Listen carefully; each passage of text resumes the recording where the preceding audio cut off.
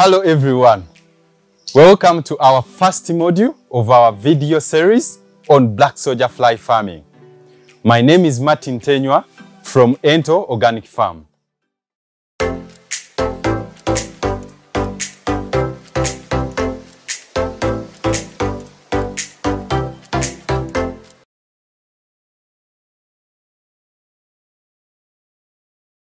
Before you start your black soldier fly business, it is very important to understand the life cycle.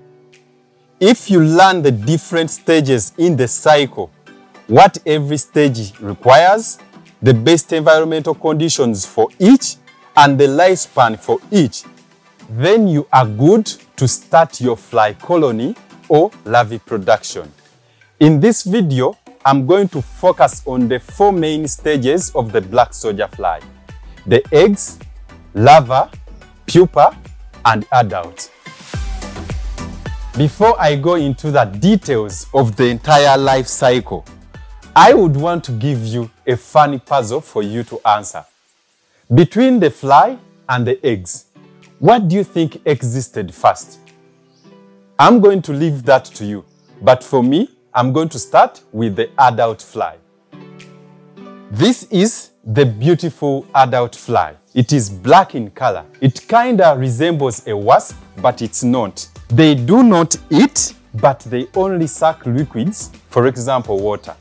The fly will live for only 8 to 12 days in its lifespan. For this fly to live, it requires a temperature of between 25 to 30 degrees Celsius and also a relative humidity of 70 to 80 percent. However, don't forget that it's important for this fly to always have natural sunlight. The main purpose of the adult fly is actually reproduction. This is laying eggs, and the eggs are the next stage in the cycle. The female fly will lay eggs in a cluster form, and each cluster contains between 500 to 800 eggs. These eggs are creamy white in color. They are tiny but very visible. The eggs will be incubated and hatch between 2 to 4 days. And the best environment for the eggs range from a temperature between 25 to 35 degrees Celsius with a relative humidity of about 75 to 90 percent. The eggs will hatch into larvae, like the way you see here. This is the most important stage in the black soldier fly business because this is when we utilize the larva as feed, but also production of compost. The larvae is creamy white in color and it is the only stage in the entire cycle that feeds. It feeds on agricultural waste and also animal manure. The larvae will take 8 to 14 days to grow and mature. And the best conditions are 25 to 35 degrees Celsius for temperature, and they require a relative humidity of 60 to 70 percent.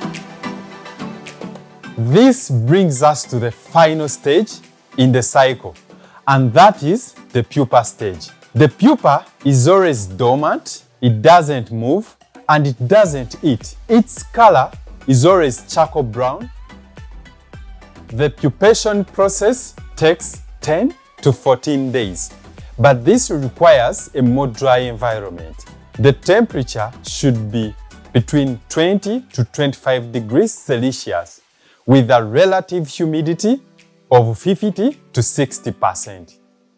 The fly will develop inside the pupa. It will emerge, lay eggs, and the new cycle will begin. Now that you have learned the entire cycle of the black soldier fly, in our next module, I'm going to teach you how you can start your colony or production. Thank you for always learning with us. Bye bye.